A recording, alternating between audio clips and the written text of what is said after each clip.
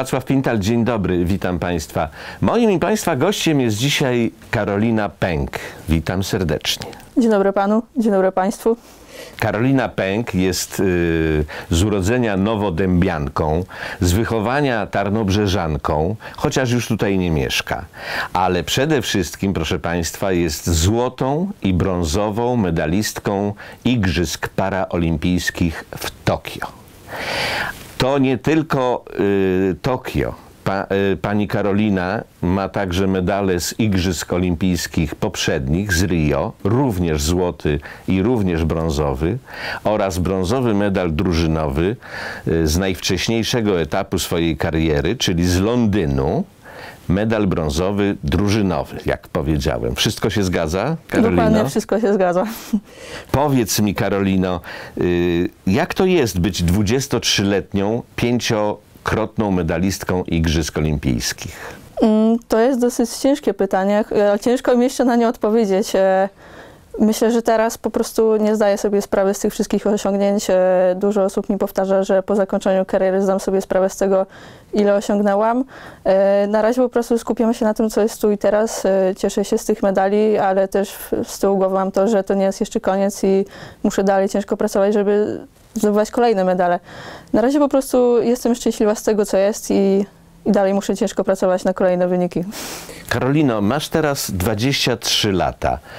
Kiedy zaczynałaś trenować tenis stołowy, miałaś lat 9, 10, m, różnie to y, podają źródła y, internetowe. Zaczęło się od tego, że trenowałaś piłkę nożną. W Tarnobrzegu chodziłaś do szkoły numer 10, y, trenowałaś y, piłkę nożną. Y, niektórzy namawiali cię na tenis stołowy, ale to dla ciebie wydawała się nudna konkurencja. Wszystko się zmieniło, kiedy mama pokazała ci trening zawodniczek tenisa stołowego, tak? Tak, to było, sama w sumie nie pamiętam e, w jakim dokładnie wieku e, czy okresie zaczęłam trenować tenis stołowy, ale było właśnie tak, że najpierw e, była piłka nożna. To był taki pierwszy sport, który mnie zainteresował. Jeszcze w dzieciństwie grałam z chłopakami na podwórku w piłkę. Ciężko było mnie zagonić do domu. I od tak dłuższego czasu pan Rajmund Zięba z IKS Tarnobrzeg mnie namawiał na treningi, bo wiedział, że jestem dziewczynką z niepełnosprawnością. Były tam osoby niepełnosprawne. E, I później mama zaczęła też mnie namawiać na treningi, ale tak jak pan powiedział, uważałam, że tenis stołowy jest nudnym sportem. E, Może też tak uważałam, ponieważ e, grałam też w piłkę. W sumie ciężko mi na to teraz odpowiedzieć. Muszę się na tym zastanowić chyba. Ale było też tak, że czasie treningu byliśmy z mamą właśnie obok hali sportowej, gdzie były treningi. Byliśmy po prostu na spacerze i mama po prostu powiedziała, a może chcesz pójść, zobaczymy jak to wygląda. I mnie tak namówiła. Zobaczyłam e, osoby na wózku, czy z innymi nie- niepełnosprawnościa- niepełnosprawnościami. E, I wzięłam rakietkę do ręki, odbiłam kilka piłeczek i już mi się spodobało.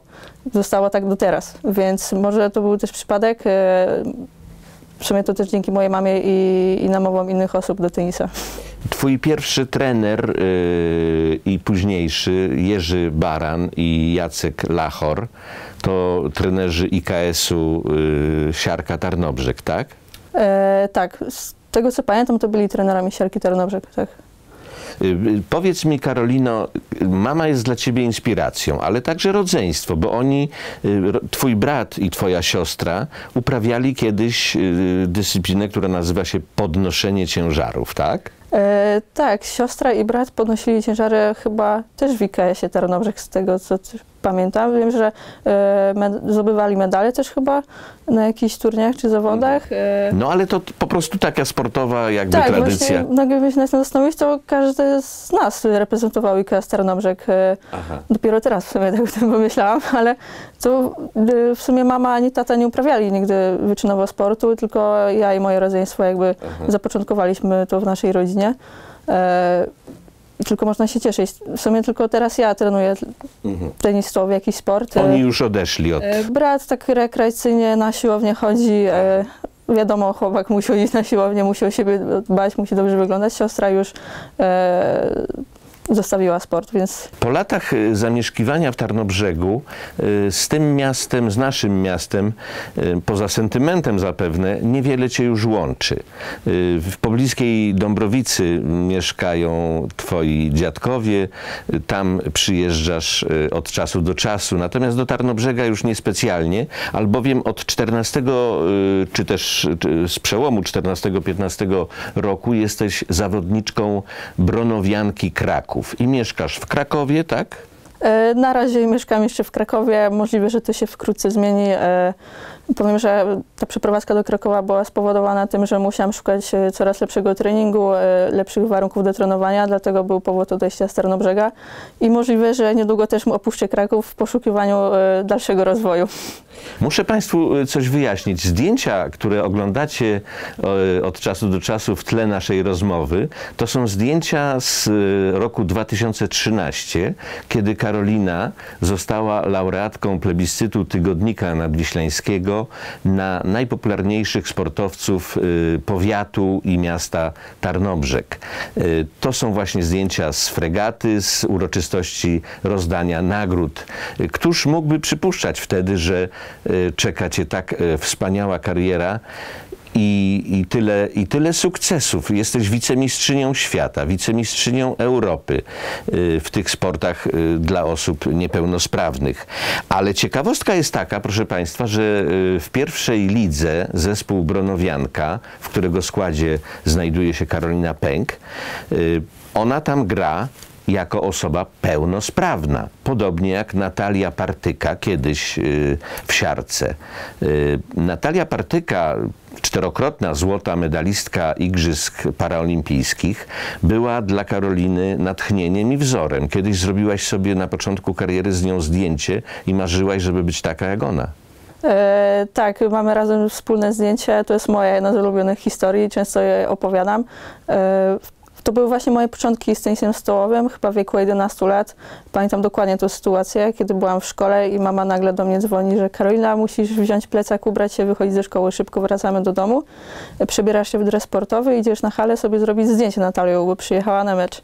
To ja jeszcze w takim młodym wieku nie wiedziałam, o co dokładnie chodzi, ale zrobiłam dokładnie, co mi kazała. E, po meczu e, podeszłam do niej, zrobiłyśmy sobie zdjęcie. To zdjęcie było chyba też w gazecie nawet, tutaj tarnobrzeskiej. A za trzy lata zdobyłyśmy razem medal. Później e, kole, za kolejne cztery lata razem w Rio wygrałyśmy, teraz w Tokio znowu wygrałyśmy.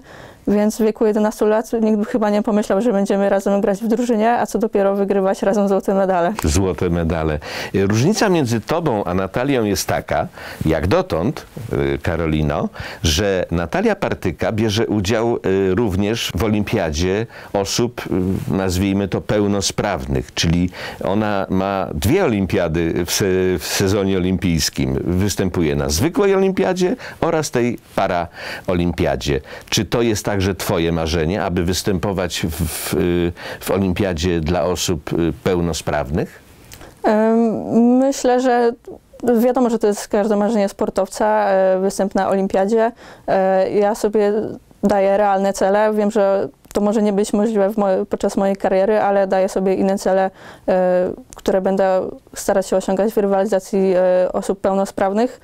E, Wiem, że nie powtórzę jej wyników, na to już chyba nie mam możliwości ani czasu, ale staram się jakby jak najbardziej ją dogonić w tych wszystkich rekordach i wynikach, a przede wszystkim staram się ją naśladować podczas treningu, czerpać dużo nauki z jej gry, czy też jej zachowania podczas gry.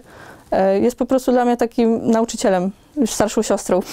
Być na trzech olimpiadach to niebywałe w ogóle przeżycie, niebywałe osiągnięcie. Być olimpijczykiem to już jest osiągnięcie, a medalistką trzech olimpiad, no to już jest w ogóle kosmos.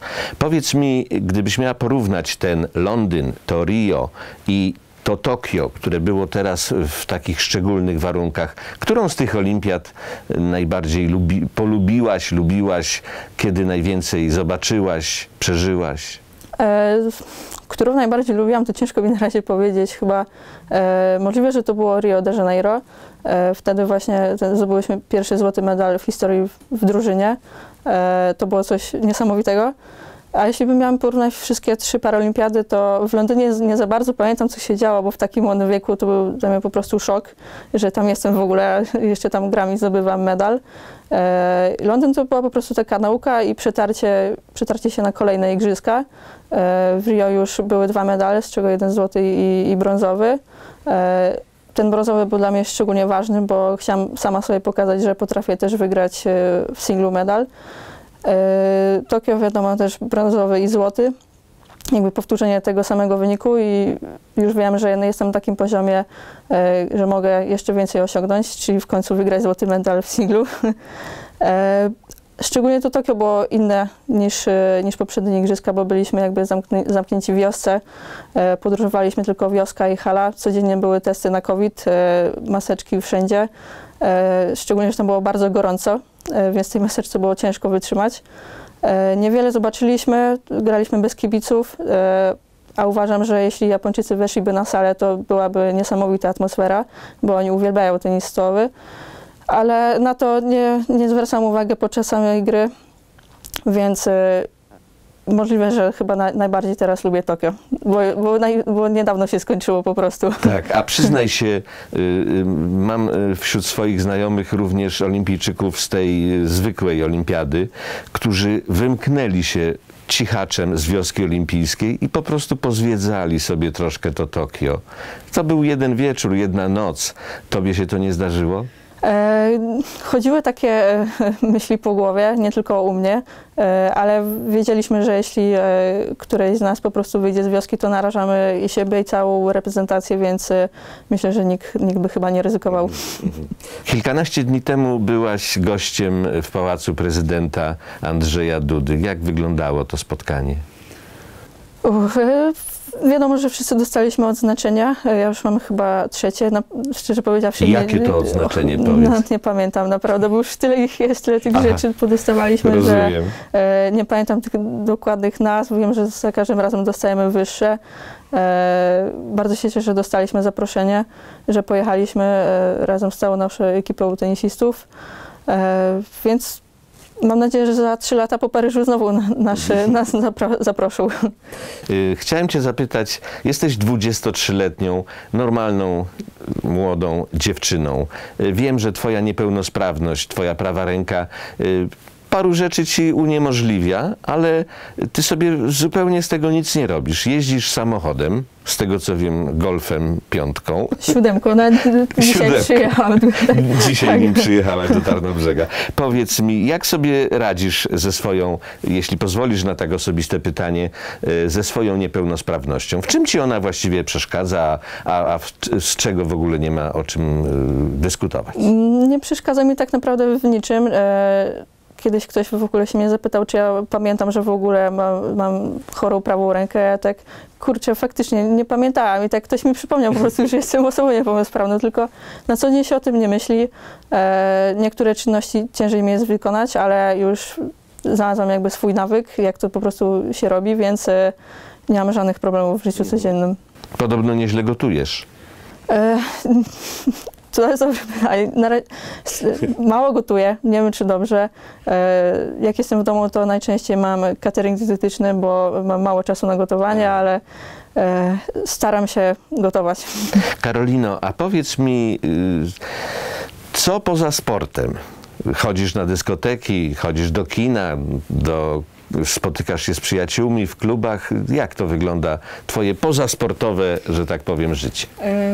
Poza tenisem stołowym są inne sporty. Dalej e, śledzę piłkę nożną czy koszykówkę, więc jak wracam do domu, odkładam rakietkę, ale włączam telewizor i oglądam mecz piłki nożnej. Więc e, Komu kibicujesz w takim razie, jeśli chodzi o piłkę nożną? Ciekawostki, w poprzednim tygodniu byłam w Madrycie, pojechałam na mecz Realu Madryt. E, Byłam na dwóch meczach. To było takie moje marzenie, więc pomyślałam sobie, że mam teraz troszeczkę więcej czasu po Tokio, więc y, mogę polecieć i zobaczyć. I zre- zrealizowałam to marzenie. Więc e, Real Madryt jest moją ulubioną drużyną. Krakowie kibicuję Wiśle. Przed nami leżą twoje y, złote i brązowy, złoty i brązowy medal olimpijski. Y, Powiedz, gdzie trzymasz swoje trofea? Czy to jest y, u babci, u dziadka, czy w twoim domu w Krakowie? Bo ta półka już jest zapewne bardzo ciężka i rozległa. E, Medale wszystkie trzymam u siebie w domu. E, Część chyba została tutaj też w Tarnobrzegu, ale te najważniejsze e, trzymam ze sobą.